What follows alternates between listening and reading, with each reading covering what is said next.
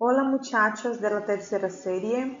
Vamos a grabar hoy la clase del día 19 de junio para hablar del artículo neutro lo.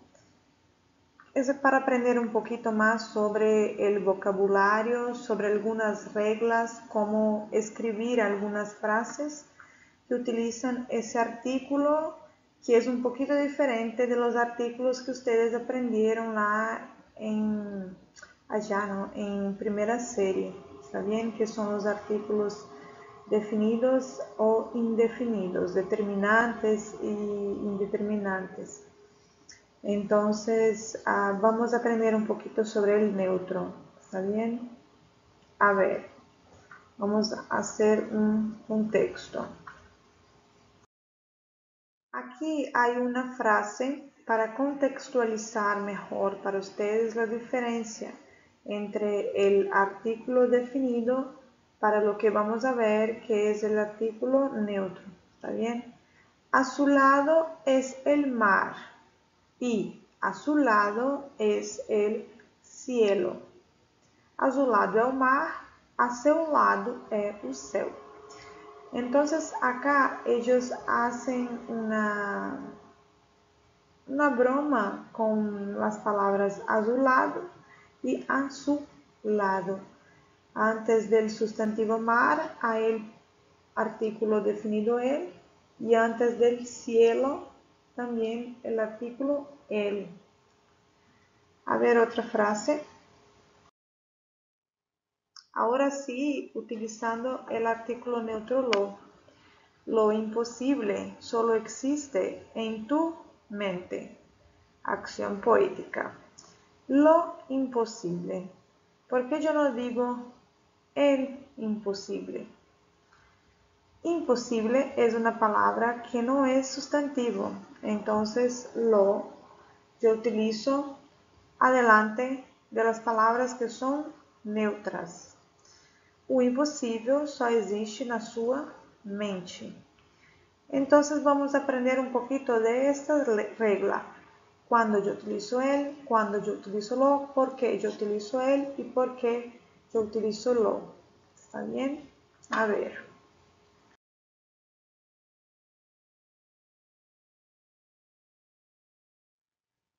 Muy bien, chicos. ¿Cuál es el concepto? de lo y de él. Lo es un artículo neutro y nunca acompaña sustantivo. Él es un artículo definido masculino que acompaña sustantivos. Entonces, el secreto de ustedes identificar cuándo se utiliza él y cuándo se utiliza lo es saber cuándo la palabra es sustantivo y cuándo la palabra no es un sustantivo. Entonces, el solo para sustantivo significa u. Lo también significa u. Pero lo solo se utiliza delante de palabras que no son sustantivas. A ver otros conceptos. Usos del artículo neutro lo. Lo se utiliza junto con adjetivo. La función es generalizar los conceptos. Equivale esse lo a la cosa o las cosas, la parte ou las partes. Então, aí, se eu puder substituir esse lo por la cosa ou la parte e seus plurais, eu utilizo lo, sendo que ele é usado antes de adjetivo. Exemplos: lo bello, ou seja, las cosas, la parte bella. Então, eu posso substituir aí, ó, que as coisas são belas, né? Tem uma parte aí que é bela de algo. Outra função, lo, mais, mais de, mais substantivo. Se refere a um assunto, alude a uma vivienda. O que é uma vivienda? Um lugar onde se morar mesmo, né? O lugar de se morar. Equivale el asunto de o la casa de. Ejemplos.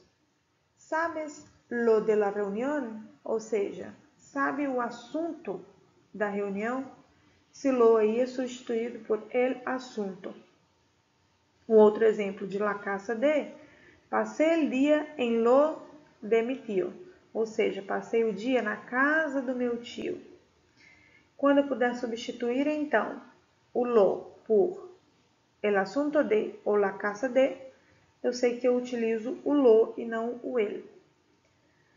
Lo, mais, mas, mais, adjetivo o lo, mais, melhor, pior, único ou principal. Então ficaria assim: lo más bonito, o lo más mejor, lo más peor, lo más único o lo más principal. Eso tiene una función de dar valor superlativo absoluto a las cosas, ¿sí? Equivale a quê? Lá, mais um adjetivo e mais uma coisa. Lo mejor es ser feliz, ou seja, la cosa mejor es ser feliz. Então, esse lo aí eu posso substituir por la cosa mejor ou qualquer outro adjetivo. E mais o coisa, né? La cosa más buena, la cosa más fea, la cosa más triste, uh, la cosa um, peor, né? Ou la cosa principal. Enfim, melhor adjetivo. Próxima forma aí, de lo, mas, adjetivo ou advérbio. Ele serve para dar valor intensificador às frases. O que, que ele é equivalente? Muy mais um adjetivo ou advérbio. Exemplo: Essas fiestas são de lo más lujuosas ou seja, esse lo substituído por muy, que significa muito. Essas festas são muito mais luxuosas. Então, eu quero intensificar a frase, por isso que eu utilizo esse lo antes do mais, tá? E antes desse mais, é, eu uso lo, aliás, depois desse mais eu posso usar um adjetivo ou um advérbio, tá certo? Diferencias de uso de el, artículo masculino, e lo, artículo neutro. O el, como eu falei para vocês, se usa junto com os substantivos. El niño estava em el teatro. Já o lo nunca antecede substantivos. O uso com adjetivos ou preposições de pressupone um substantivo já mencionado. Qual sapato te gusta mais? El azul. Que, que é azul? O sapato. Então, ele é um substantivo também, só que ele foi mencionado antes. Ele não aparece aí, mas é um substantivo subentendido, tá certo? Por isso eu utilizei o ele. Já o lo tem as funções já mencionadas em el quadro anterior, que é aquele lá que eu falei do adjetivo para vocês, né, para dar um efeito intensificador nas palavras. Então, esse lo tem todas as funções quando é usado com adjetivos ou preposição de. Prefiero lo azul, ou seja, las cosas, né, azuis. Esto es lo más increíble, ou seja, isso é a coisa mais increíble, né, mais incrível. Prefiro as coisas azuis, isso é a coisa mais incrível. Então, se eu utilizo lo antes de adjetivo ou junto com a preposição de, com aquelas funções que foi citadas aí no, no quadrinho anterior. Outras expressões que llevan lo. A lo, como al estilo de, vale para modos em que se toma uma atitude, nombres de platos culinários, modos de vestir-se e peinar-se, por exemplo. Então, exemplos. Usa el coche com cuidado, no a lo bestia. Então, ele usa o carro com muito cuidado, não igual a um doido. Então, é, esse alô, ele tem uma equivalência aí de, de palavras em português que você pode substituir por como. Então, ele usa o car com cuidado, não como uma besta, uma fera, né? Besta aí seria fera. Então, quando eu puder substituir por como, é uma expressão. A lo largo de.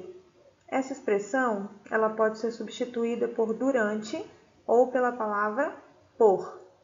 Exemplos de uso. Hice mi trabajo a lo largo del dia.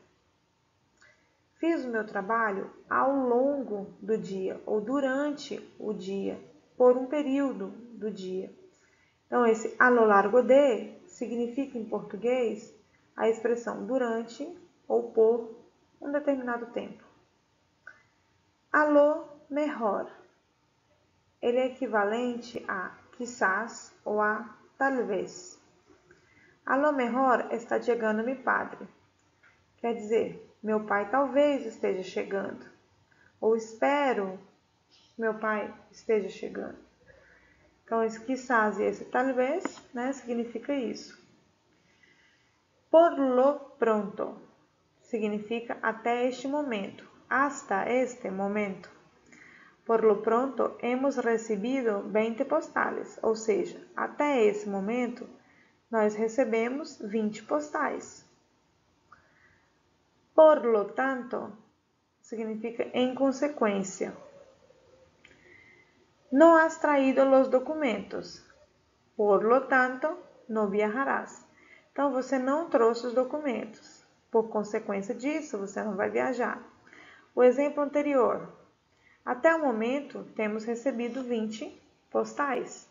Então, por lo pronto tem esse significado e por lo tanto também tem esse significado de inconsequência. Por lo visto. Significa aí essa expressão segundo parece ou se sabe. Por lo visto, no has hecho las tareas. Ou seja, pelo que se sabe, você não fez as tarefas. Segundo parece, vocês não, você não fez as tarefas. Então, expressão, por lo visto, significa, segundo parece, se sabe, segundo ao acho, né? De lo contrário, significa se não, ou em espanhol, se não. Entrega os documentos. De lo contrário, não entras. Então, entregue os documentos. Se não, né, você não entra. Então, quais são as expressões que llevan lo? A lo largo de, a lo mejor, por lo pronto, por lo tanto, por lo visto e de lo contrário. Significam essas coisas aí. Durante, talvez, até o momento, em consequência, eu acho ou se não.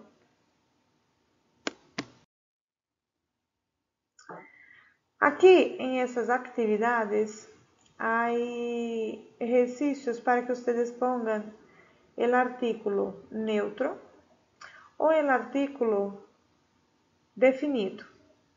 Aqui já tenho algumas palavras: bueno, mais inteligente, melhor, único por duas vezes, mais importante, menor, mais rápido ou mais divertido.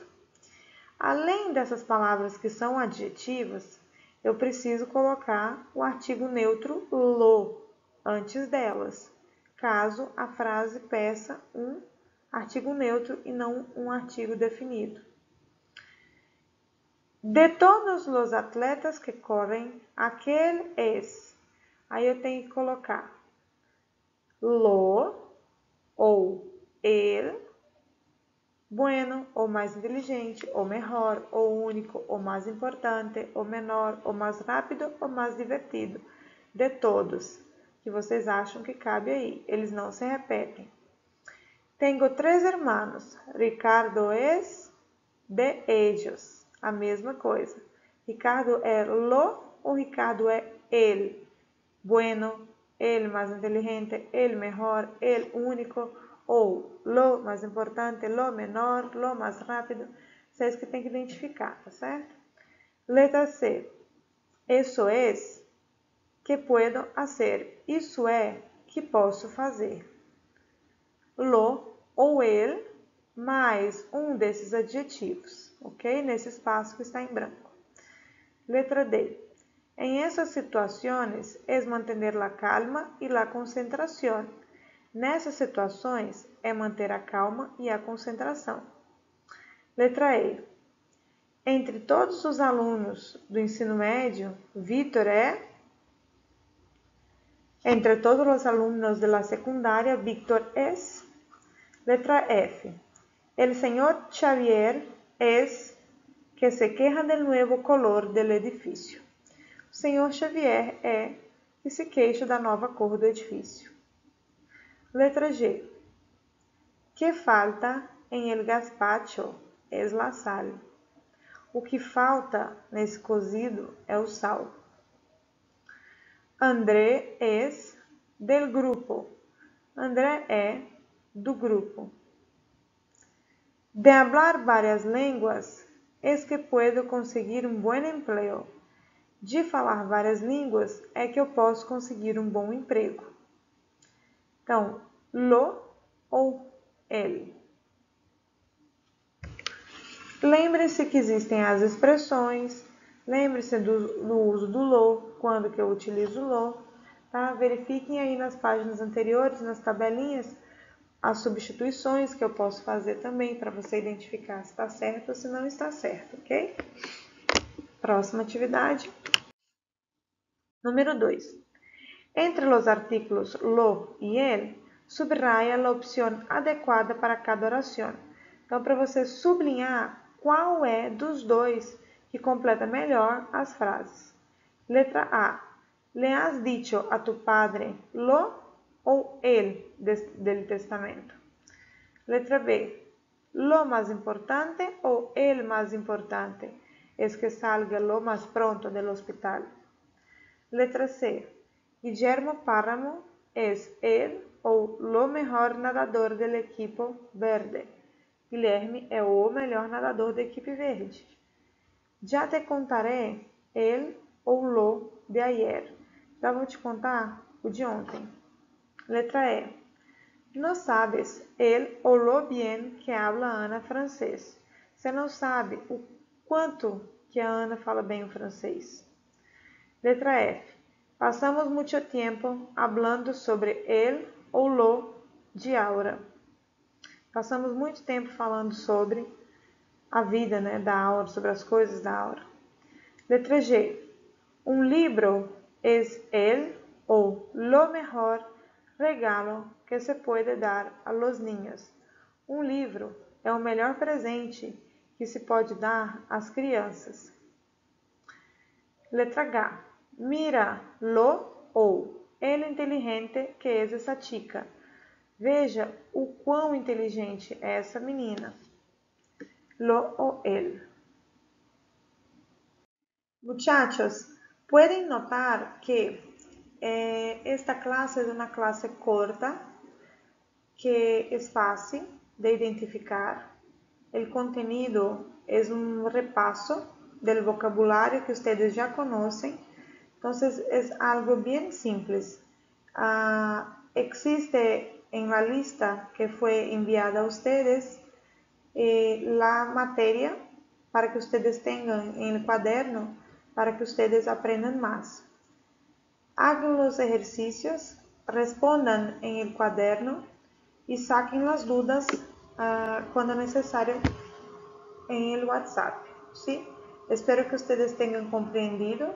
Entonces, repasando, lo yo utilizo antes de palabras que no son sustantivas e ele eu utilizo com sustantivos. E vocês têm que saber qual é o sentido do lo. Por que palavra eles podem, esse lo pode ser substituído? Qual é o contexto desse lo? É, quando eu posso usar no sentido de expressão que pode ser substituída? Que palavras eu posso substituir por esse lo?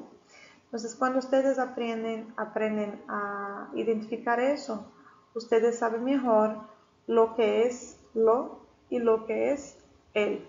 ¿Está bem? Muchas gracias y hasta la próxima clase de español. Anoten y tomen nota de todas las dudas, ¿está bien? Chao, chao.